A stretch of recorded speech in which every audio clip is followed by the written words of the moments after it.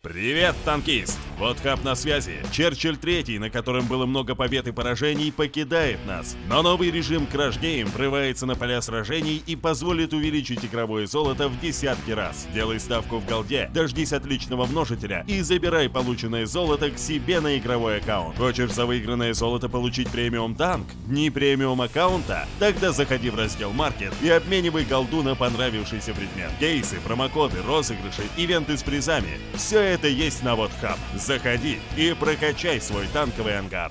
Всем привет, друзья! Сегодня мы поговорим про Centurion Action X, британский ST 10 уровня, который в патче 1.20 значительно прирос в своих ТТХ и в самых главных в огневой мощи. Ему ускорили перезаряжание орудия, уменьшили разброс при движении башни и ходовой, то есть стабилизацию улучшили, и добавили целых 2 километра максимальной скорости. И сегодня мы разберемся, хорош ли он стал, потому что последнее видео об этом танке у меня было очень давно, и наконец пришла пора его освежить. Но вначале мы вспомним о том, какой он был когда-то. Сейчас перед вами все танки 10 уровня, опять же, СТшки, упорядоченные по проценту побед. Тут очень много разных технических танков, которые так или иначе есть или нет, там какие-то, ну, не суть. Главное, нужно понимать, что вот самые крутые здесь, объект 907 там и так далее, и так далее. И наш парень, знаете где?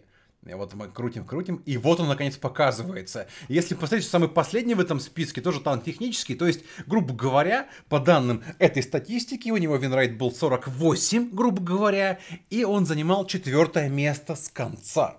Прекрасный СТ. Именно поэтому, в общем, на нем особо никто не играл, его особо никто не любил и до сих пор не любит. А зря, потому что все изменилось. Теперь давайте внимательно посмотрим на этот список. А, здесь я собрал все прокачиваемые СТ 10 уровня, без всяких там акционных, ГКшных и прочих, и без барабанных. Чисто цикличные машины, чтобы померить их урон в минуту. И на первом месте у нас, как всегда, лидирует К-91, просто турбо-батарея Ураган СТБ-1 и АМХ-30Б.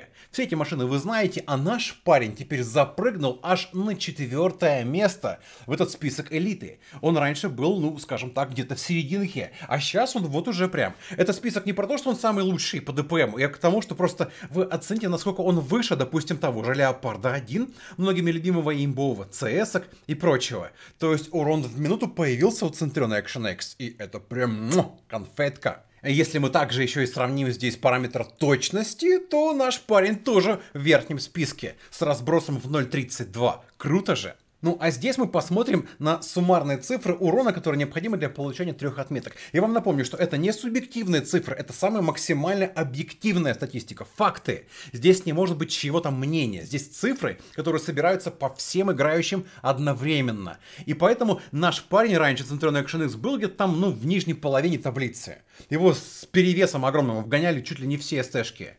А у нас раньше и по, по, по сей день сейчас лидирует из прокачиваемых, важно, CS63, э, Леопард 1 и Удес. И наш парень стал как бы четвертым прокачиваем в этом списке. Причем гляньте, как прыгнула статистика. С четырех, грубо говоря, 100 до 4300 на целых 200. Это большой рывок для любого танка, значительный, означающий, что за это время, пока вышел патч, все игроки, которые поиграли на нем, показали результаты лучше, чем все остальные до этого патча, и поэтому вот объективная реальность на ваш вкус. Главное вот что, если вы на нем сейчас решили фармить отметки, то делайте это быстрее, потому что статистика собирается за последние две недели. И все эти две недели, вот они, слабенькие. А здесь танк может гораздо больше, и это можно использовать, обойдясь меньшим количеством боев и меньшей кровью. Итак, от слов к делу. Давайте посмотрим, как по итогу-то оно все играется. Причем у нас новая карта, которая вышла в патче 1.20, называется на Устричный залив. Поставьте отдельный царский лайк за то, что мы ее смотрим в начале, потому что пока остальные игроки только-только с ней осваиваются, набивают свои первые шишки, на них можно уже фармить урон, э, где-нибудь там они ошибаются, подставляются и их расстреливать. И поэтому по таким видео можно уже раньше остальных учиться основным позициям каким-то и для себя что-нибудь подмечать, потом на практике это использовать использовать. Потому что хоть у нас игрок и талантливый, показывает, как все это делается, но играет-то он бесхитростно на танке, на который вы тоже можете играть. Поэтому здесь никаких секретов нет, все для вас. Итак, самое интересное вот в чем. А, даже начну издалека, причем, какое мнение еще об этом танке было у игроков раньше. Я вот иногда посматриваю комментарии к прошлым выпускам, и по этому танку было видео, где вот такой комментарий там завирусился. Мол, танк что-то среднее между Леопардом и Паттоном. Едет как Паттон, броня как в башне на Леопарде. Смех и грех, но по сути говоря, я раньше воспринимал этот танк именно так. Потому что его башня, ну, отбивает бронебойные восьмых уровней прям стабильно. Ну, может быть, не все. В лючок могут попадать, да. А вот кумулятивы восьмых и девятых, и особенно десятых, там уже все как бы пробивают. Все, вот даже сейчас мы на прокатке получили, не пойми куда. Броня у башни это такое. Если ее выцеливают, то там и в лючок можно попасть ему, и в козырек, и поэтому броня как у леопарда, и подвижется как Паттона. В принципе, это было, ну, ре реальностью. Но сейчас, когда мобильность немножко немножко подправили, добавили целых 2 километра максимальной скорости, а я специально еще уточнил, что у него удельных лошадей больше, чем у Паттона, поэтому он быстрее, чем Паттон.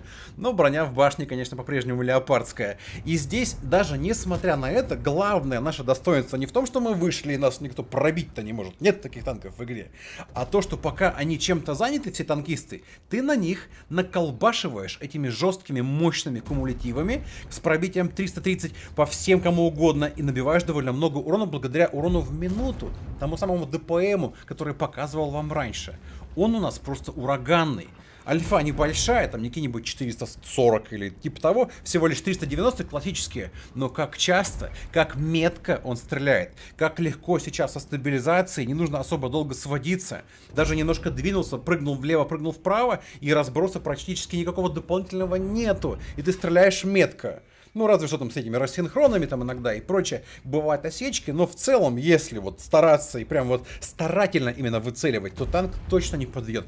И многие, главное, мне писали также часто, что типа зря ты его не любишь, мне вот он нравится. И правда, если разбираться со всеми остальными танками, конечно, в игре, то у этого гораздо меньше минусов во-первых, сейчас какая-никакая броня, но есть, мобильность какая-никакая, но есть, но и сейчас есть урон в минуту, и все остальное, что у него было раньше. А также сюда мы добавим еще и фугасы, у него же не обычные фугасы, он же британский как бы танк с хэшами, и у него пробитие на фугасах 105 с альфой 480. Вкусненько как бы. Да и под калибр тоже вообще-то огонь 268 пробивает, очень быстро летящий, практически лазер. Ну, короче, кайф. Ну, правда, все лицо уже, как говорится, в синяках, да, и вы спросите, ну, а и где нагиб, братец? Все, хп нет, уже не высунешься. На секундочку, разменялись стоить выгодно, не правда ли? 6, 660, почти 6, и как бы отдали-то всего меньше пары тысяч. Очень выгодно. Вот об этом речь. Причем бой только начался. Прошло там буквально 4, 3 минуты, собственно, пока ехали еще сюда минуту.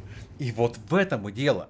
То есть не нужно, чтобы он там жил дольше всех на свете, дольше Ленина. Просто нужно, чтобы ты за эти пару минут по ДПМил, ты вносишь там 3 плюс, это без учета всякого оборудования, урона, в, а если совсем поставить, то, наверное, под 4 будет, то ты столько вносишь за 2 минуты, что больше и не нужно. Активный геймплей, союзники развлекаются с противниками, и ты в этот момент им ассистируешь, находясь в близости от всего происходящего. Весь секрет. И, может быть, прям поначалу кажется, что ну как-то на такой СТшке не гоже ехать на направление, где играют тяжелые танки, они ведь типа пробьют. Лучше где-нибудь издалека поснайперить. Да, но это неэффективно сейчас в настоящей мете, потому что правильно именно играть с тяжами. Пока тяжи мутузятся, ты бузатеришь, что называется. Здесь, там, и, в общем, фармишь себе урон. Вот вся наука, братцы. Это реально просто. И самое главное, эффективно, еще раз напоминаю, потому что это было на старом Центрионе Action X. Ну, достижимо тоже в какой-то мере. Но нынешние параметры показывают значительный скачок в среднем суммарном уроне, который игроки показали всем скопом на целых 200. Я вам тоже это показывал. То есть танк объективно стал эффективнее, и надо это использовать. Гоняйте, практикуйте, пробуйте. Тем более на Устричном заливе. Ну и также вам сюда же в кассу э, интересный факт об этой карте. Обычно все они у нас 1000 на 1000 метров, а это побольше. Это 1300 метров на 1300. То есть она, если померить в площади, на целых 60% больше обычных карт. То есть здесь прям устанешь на Маусе ехать, как говорится. Бой может закончиться, пока ты доедешь до первой половины. А на Centurion Action X ну, вы поняли. Нет, дело не в том, конечно, что я вам пытаюсь опять ура позитивный видосик сделать, какой супер танк всем качать. Нет. Просто это история про то, что он был, ну, совсем средним, обычным, заурядным, а стал сильно выше среднего и приблизился уже к самым элитным на свете танкам. ЦСком, Леопардом и Удосом. И поэтому ожидайте много статистов сейчас на нем в рандоме, хорошо играющих игроков и так далее. Танк стал опасным, привлекательным, а значит они точно на нем поедут кататься. И каждый раз противник, играющий на этой машине, это скорее всего не просто какой-то игрок, который мимо проходил, потому что танк давнишний, не хайповый, э, не какой-то там заманчивый, который вот свежий на каких-нибудь там этих батлпассах или еще где-то был замечен.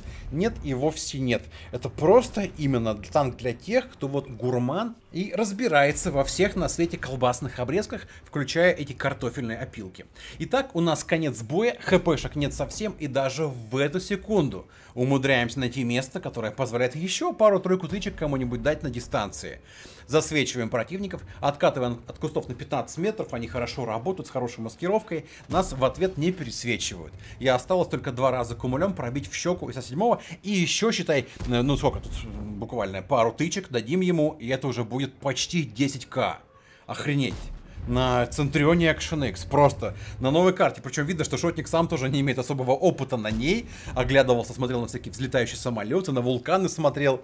Ну, в общем, опыт, во-первых, не пропьешь, во-вторых, танк позволяет даже впервые попасть на этой новую карту и уже показать на ней хорошие результаты. Ну а дальше мы дожидаемся, когда наш э, противник на СТБ подкатит к нам под выстрел и финальный размен и все уже знают о том, где находится наш игрок, потому что по миникарте все потыкали, куда именно сводиться, и артовод вражеский тоже уже, забегая вперед, смотрит прямо сюда к нам под хвост, ждет, когда нас подсветят. В общем, подводим итоги. Небольшой относительно, но значительный ап самых главных параметров огневой мощи делает сейчас Centurion Action X не просто хорошим танком, а выше среднего. И он приближается к самым лучшим танкам в игре среди прокачиваемых СТшек. Это означает, что сейчас самое лучшее время его качать, и на нем играть и кайфовать, потому что все остальное было ошибкой и неправдой. На сегодня у нас все. Ставьте еще раз лайк, если не поставили его раньше, подписывайтесь на канал, оставляйте ваши комментарии, потому что кто его знает, может быть самое интересное попадет в следующие видео. А на сегодня все. Подписывайтесь и удачи. Пока-пока.